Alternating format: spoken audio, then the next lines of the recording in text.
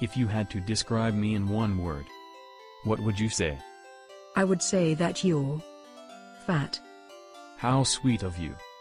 What would you say if you had to describe me? Tall. So true, so true. You were my best friend. You are my best friend too.